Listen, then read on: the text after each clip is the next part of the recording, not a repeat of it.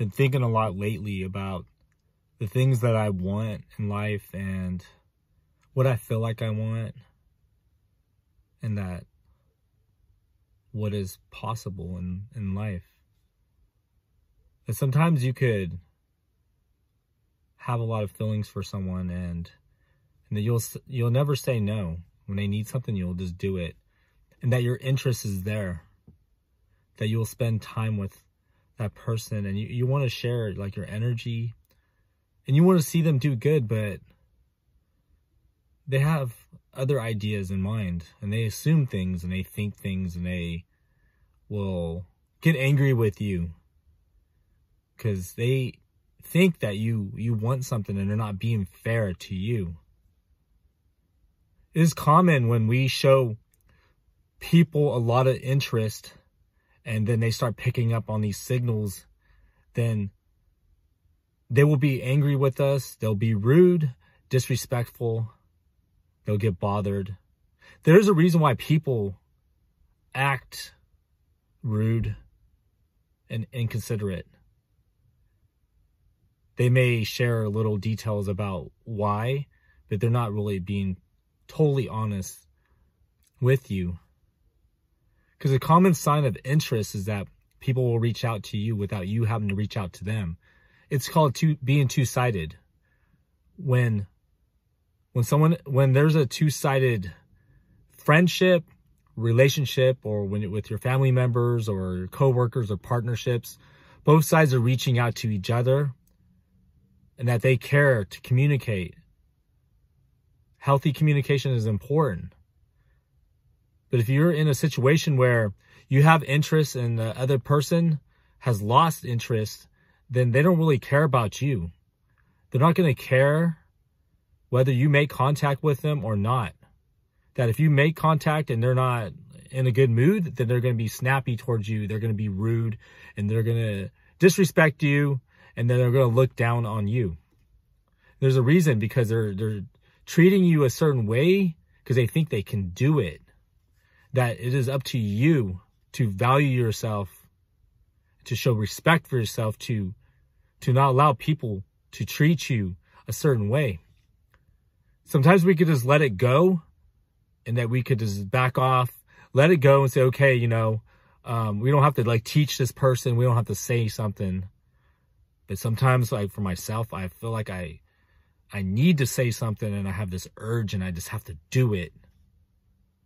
That I'm willing to let go, detach, and leave something that is not respecting me. That respect is important because would you want someone to look down on you and talk down on you and treat you like you're a nobody? Treat you like that you're lucky to to to be talking to them and that what you have done doesn't matter that the time that you shared the energy you shared it has no meaning to them because they don't feel nothing for you and that it's okay for them to treat you bad. And it does not go that way. Life, life does not work that way. That you should not let people disrespect you and look down on you because we're, we should all be equal in that we should all be working together. If you have friendships, your friends should, should care about you. They should have compassion and they should have empathy and they should support you.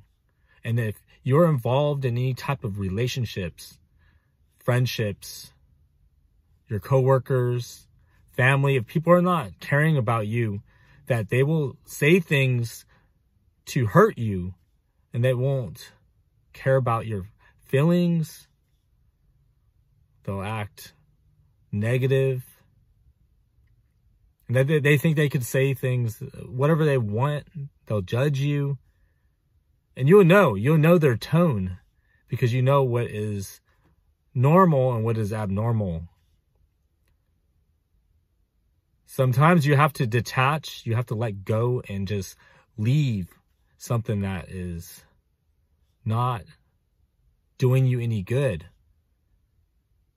Now, if you're always the one making contact, and the other side is not, then you have to recognize that that you have more value than that. That you don't need to be around people that that don't care about you and that don't worry about you, that don't think about you and that they view you as a burden on their life. If you want to go far in life, you have to fight for yourself. Self care. You have to be strong. And being strong is not about being rude or being tough, like, oh, I'm tough, so I'm strong. Being strong is that not that you're able to overcome the difficult moments in your life. That you're able to rise above your setbacks, your challenges, and the and the tough times that you're not going to get knocked down, that you're going to be resilient and you're going to get back up. That some people assume that being strong is being rude. Like, I'm going to be tough. I'm going to show this person and be abrasive and treat them bad because they're going to say, I'm tough. It's like being a bully. Being a bully is not, is, is coward. Is someone that is taking advantage of somebody, is manipulating someone, is putting fear in someone. But in relationships, there's sometimes going to be a manipulation, like where someone makes uh, the other jealous. They're going to use certain things to, to hurt the other person.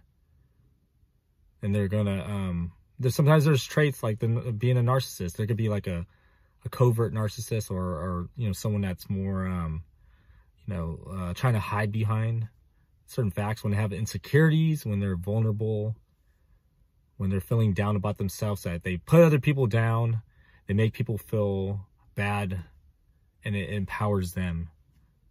That's not a way to be strong. That you're using like the past, you're using your pain, using certain things that you feel inferior to others, so you try to act superior to make yourself feel better. And that's not the way to treat people that if we're going to send a message out there that we want to help people and that we do things to to make people's lives better that we should be consistent in our own lives that we we should be authentic be genuine and treat people good. Treat people the way that you want to be treated.